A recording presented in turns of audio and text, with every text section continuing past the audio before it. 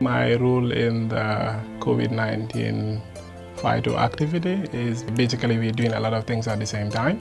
So ranging from planning also and also we are looking after these active cases. The, four, the first, as you know, the first two active cases in the Gambia, we looked after them successfully and then we cared for them until their recovery and we discharged them from the unit.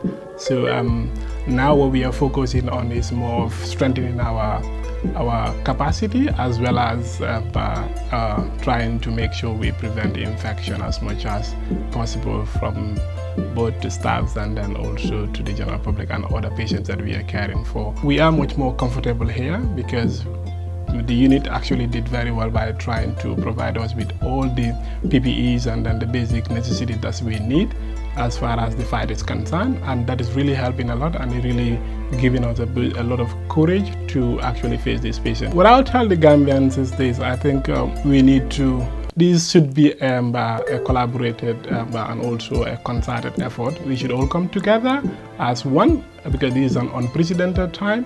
So everybody should come together and we send, communicate the same message. So we don't have to wait until people start dying before we actually take it seriously. So when we take the problem seriously now, we will be able to um, come out, out of this problem successfully.